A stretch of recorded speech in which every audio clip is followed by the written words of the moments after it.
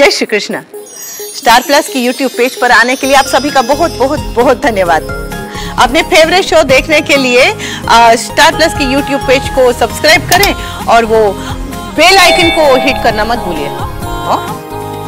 ध्यान रखो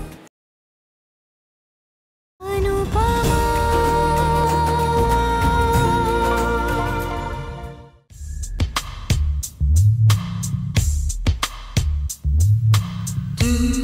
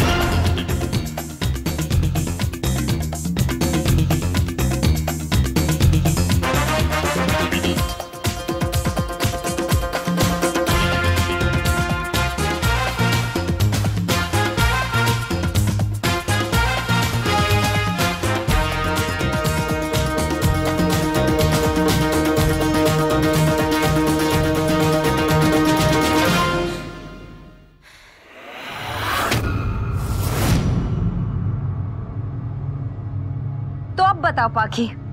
कौन बेस्ट है?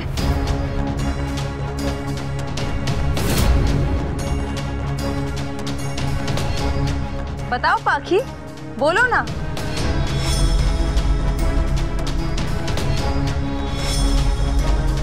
बोलो पाखी, बोलो। तुम जीती, मैं हारी। तुम बेस्ट हो, काव्या। तुम ही सिखाओ मेरी स्वीटी को।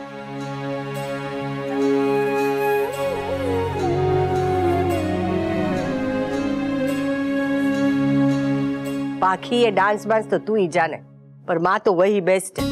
अरे जीत तो कोई भी सकता है, पर अपनी बेटी के लिए जो जीत के भी हार माने ना, वो एक माँ ही कर सकती है।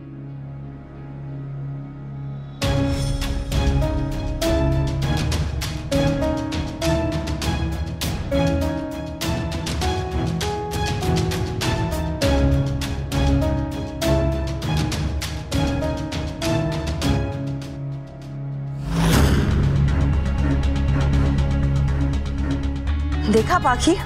कैसे हार के भी महान बन गई? अगर मैं उसकी जगह होती ना तो मैं चिल्लाती, झगड़ा करती। कहती कि मेरी बेटी से दूर रहो और मेरी बेटी को डांस सिर्फ़ मैं सिखाऊँगी। मगर अनुपमा ने ऐसा नहीं किया। क्योंकि वो जानती है ना कि वो डांस एकेडमी के साथ बिज़ी होने वाली है। फिर उसके पास तुम्हें डांस सिखाने का टाइम ही नहीं होगा। इसीलिए सब कुछ कितना स्मार्टली उसने मेरे सर पे डाल दिया। ऐसे तुम्हें डांस भी नहीं सिखाना पड़ेगा और सबकी नज़रों में अच्छी भी बन गई। मगर उसकी ये हरकत की वजह से ना पूरी फैमिली की नज़रों में तुम विलन बन गई हो पाखी। तुमने देखा ना पापा ने भी जाते वक्त तुम्हें कैसा लुक दिया था? जैसे कि सारी गलती सिर्फ़ तुम्हारी है। But you don't worry sweetheart bestie है ना तुम्हारे साथ? मम्मी काव्या ने पहले मुझे मैनिपुलेट किया और अब वो पाखी को कर रही है। और पाखी इजीली मैनिपुलेट भी हो रही है मम्मी। आई नो कि स्वीटी टीनेजर है। लेकिन इतनी इडियट टीनेजर क्यों है वो? समर। पर सीरियसली मम्मी स्वीटी काव्या की वजह से डिप्रेशन में गई थी। अब सडनली फिर से काव्या स्वीटी की बेस्टी बन गई। ये उम्र ही ऐसी है। इस उम्र में छोटी से छोटी बात दिल को छू जाती और इन छोटी छोटी बातों से ही दिल में खटास पैदा हो जाती है।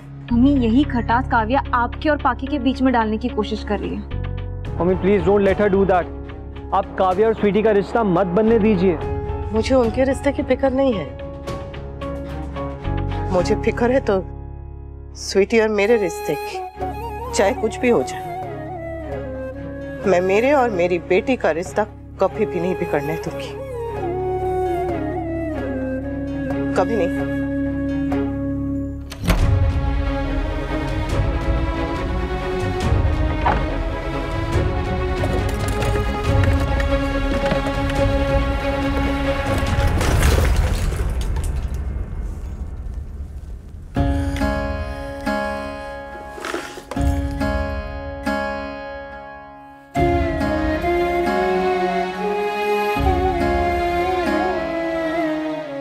कितने धागे बांधू कितनी गांठें लगाऊँ। पहले तो सू फिर किंजल, अब एक धागा बांधती हूँ तो दूसरा कमज़ोर पड़ ही जाता है। कान्हा जी कोई और परीक्षा ले लीजिए ने।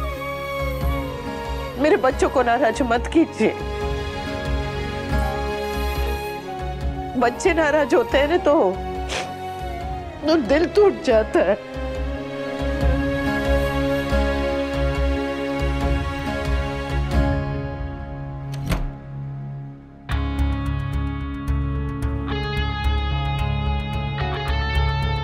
आई डेंट नो कि तुम इतना अच्छा डांस करती हो।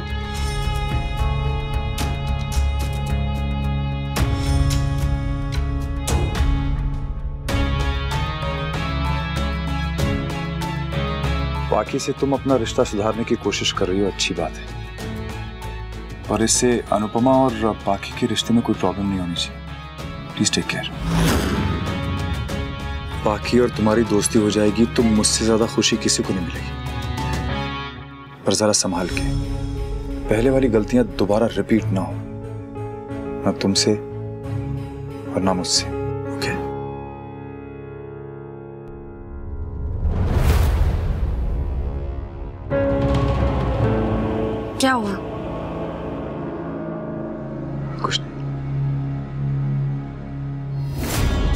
डैम वी से कैफ़े के बारे में तो पूछना ही भूल गई।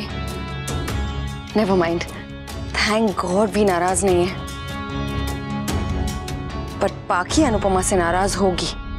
And I make sure of that Pakhi को अनुपमा से मैं दूर करके ही रहूँगी।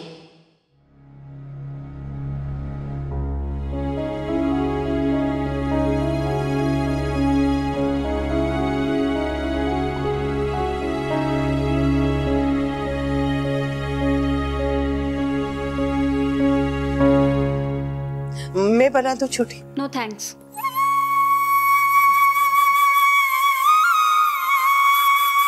ये देख मुझे क्या मिला?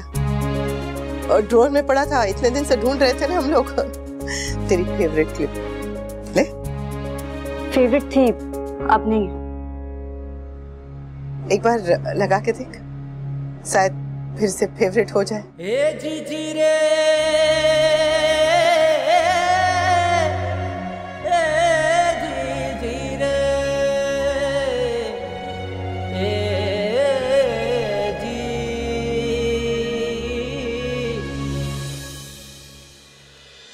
सूरी मैं कल तुझे डांस नहीं सिखा पाई।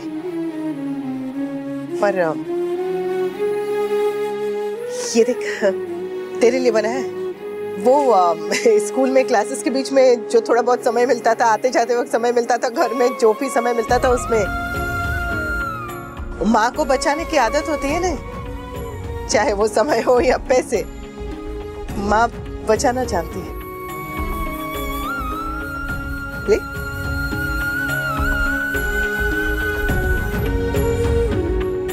स्वीटुरी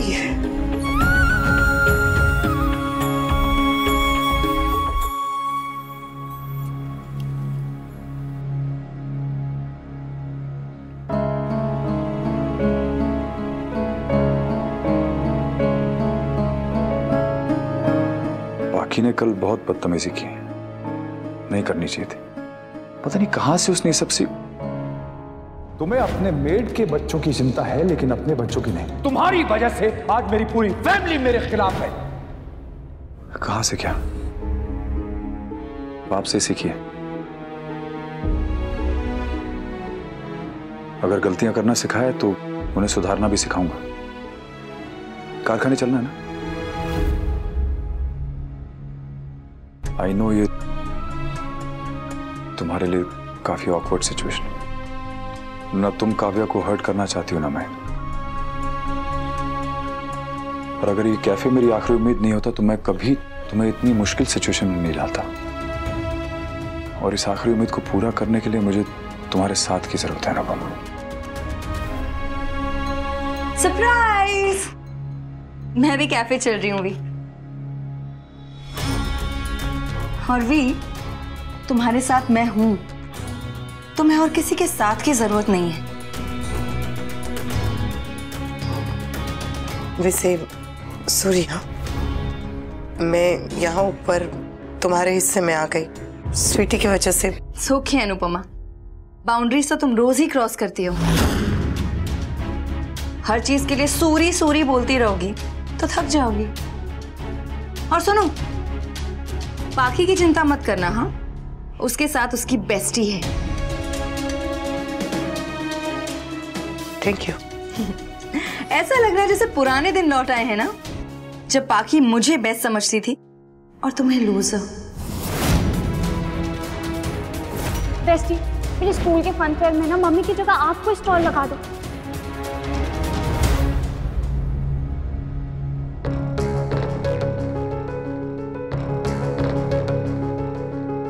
बेबी एक रिक्वेस्ट करूँ? बेबी? भी तुमने मुझे बेबी कहा? आज तो तुम मुझसे जान भी मांग लो जान नहीं चाहिए। तो? बस तुम राखी दबे मत बनना।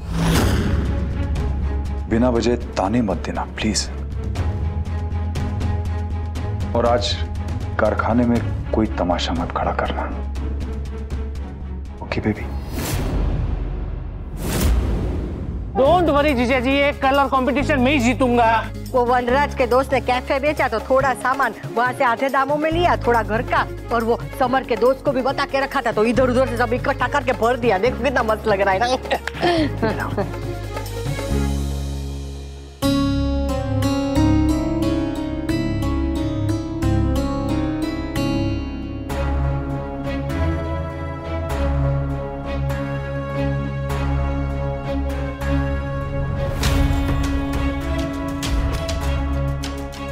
बेसिक है मगर अच्छा है। थैंक यू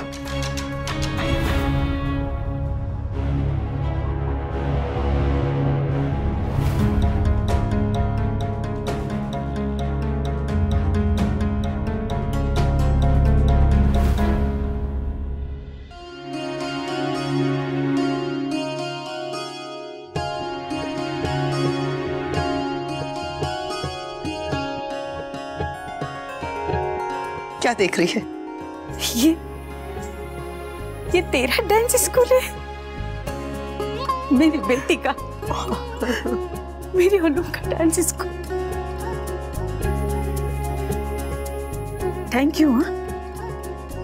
ये तो क्या कर रही है? थैंक यू किस लिए? उड़ना सीखने के लिए। तुझे याद है? तू अपने जन्मदिन पे भी खुद ही खाना बनाती थी? तारे जन्मदिन की पार्टी और बद्दू काम तू ही करे छे अब क्या है ना माँ? इनको मेरे हाथ का खाना पसंद है हाँ? अब तूने खाना बनाना इतना अच्छा सिखाया तो और क्या करती है? हाँ बेटा मैंने तो तुझे सिर्फ़ खाना बनाना चुप रह कर सब सह कर गृहस्थी चलाना और सर झुका के चलना सिखाया। पर उड़ना तो तूने खुद सीखा है ना? पर मैं क्या करती बेटा? हमारे जमाने में तो किसी ने हमें ये बताया ही नहीं था कि बेटी भी आसमान को छू सकती है। हमें तो बस यही सिखाया गया था कि बेटी की जगह घर में ही है। और जिसे घर में रहना है, वो पंख लगा के क्या करेगी? है ने हमें तो बस यही पता था। नहीं किताब, दूध का गिलास, गरम रोटी नई चपले नया बस्ता और नई किस्मत। इन सब पर सिर्फ़ बेटों का हक होता है। बेटी को तो सारी पुरानी चीज़ें मिलती थी। किताब भी और किस्मत भी। किताब जो अपने भाई की थी और किस्मत अपनी माँ की। पर अनु तूने आज अपनी नई किस्मत लिख डाली। माफ़ कर देना। हाँ? मैंने तुझे सब गलत बातें सिखाई थी। नहीं माँ तूने तो माँ बन के बस वही सिखाया जो तूने बेटी बन के सीखा था। अनु आज मुझे तेरे ऊपर बहुत गर्व हो रहा है। बहुत। और मुझे भी तुझ पे बहुत गर्व है माँ। क्यों? अरे तूने अपना बिज़नेस शुरू कर दिया है। तो मैं भी सबसे कह सकती हूँ ना कि मेरी माँ भी बिज़नेस वुमन है। देख ना बेटी तेरा ये एक कदम तेरी पीढ़ियों को दस कदम आगे लेके जाएगा। क्योंकि तूने तो बरसों से चली आ रही रीति बदल डाली है। आज तूने ये साबित कर दिया कि बेटी अपनी किस्मत खुद लिख सकती है और आसमान को छू भी सकती है। और देखना तूने तो आसमान छू लिया। नहीं माँ अभी तो बस आसमान की तरफ़ देखा है। आसमान छूना तो बाकी है। और मुझे पूरा भरोसा है। मेरी बेटी एक दिन आसमान को छू भी लेगी। छू लूँगी माँ। पता है क्यों? क्यों? क्योंकि आसमान को छूने के लिए एक लंबी सीढ़ी चाहिए होती है। पर सीढ़ी जितनी लंबी होती है ना उसके गिरने का उतना ही डर होता है। इसलिए सीढ़ी को संभालने के लिए एक परिवार चाहिए होता है। और मेरे पास तो बा है बापू जी है बच्चे है तू है भावेश है इसलिए तो मैं सपने देख भी पा रही हूँ और चढ़ भी पा रही हूँ। कान्हा जी तुझे ऐसे ही खुश रखे हमेशा। और तेरे सारे सपने पूरे करे। माँ। लीला इतनी कुर्सियाँ काफ़ी होगी। मुझे तो लग रहा है कम पड़ेगी। हाँ। वी ये सब कैफ़े का फर्नीचर है? हाँ। ओह मुझे लगा ये वो बोरिंग डांस एकेडमी का फर्नीचर होगा।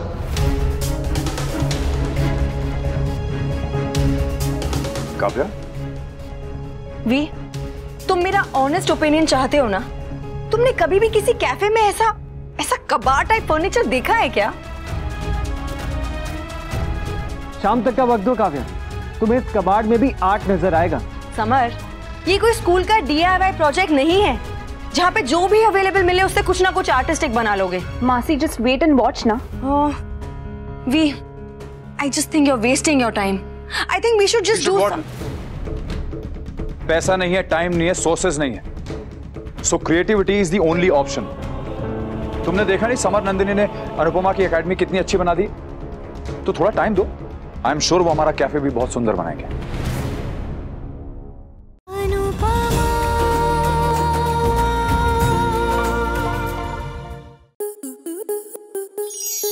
स्टार प्लस के ऐसे ही और बेहतरीन लम्हे देखने के लिए सब्सक्राइब करें हमारे यूट्यूब चैनल को।